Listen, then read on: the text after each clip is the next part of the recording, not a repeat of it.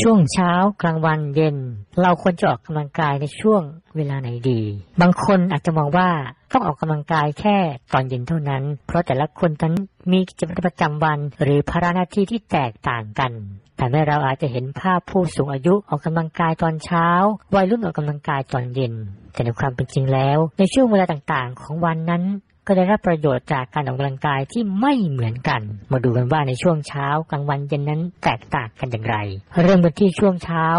ช่วงเช้าเป็นช่วงเวลาที่ร่างกายยังไม่ได้รับพลังงานใหม่เข้ามาทำให้การออกกำลังกายในช่วงเวลานี้ ร่างกายจะเผาผลาญไขมันเก่าออก ผอมได้เร็ว และยังทำให้ร่างกายกระตุ้นให้เผาผลาญต่อเนื่องทั้งวัน ร่างกายตื่นตัวรู้สึกกระปรี้กระเป๋า ถือเป็นการเริ่มต้นเช้าวันใหม่ที่สดชื่นอีกด้วย ช่วงกลางวัน ช่วงกลางวันเป็นช่วงเวลาที่ร่างกาย ปรับตัวทำงานได้อย่างเต็มที่ อุณหภูมิร่างกายทำงานปกติ ระดับฮอร์โมนและการไหลเวียนสูงกว่าช่วงเช้าทำให้ร่างกายพร้อมออกกำลังกายมากกว่า ช่วยลดความอยากอาหารน้อยลง แถมยังกระตุ้นสมองให้สดชื่น ลดความเครียด เพราะร่างกายจะหลั่งฮอร์โมนเอนโดรฟินออกมาทำให้เรามีความสุข คลายเครียดจากการทำงานได้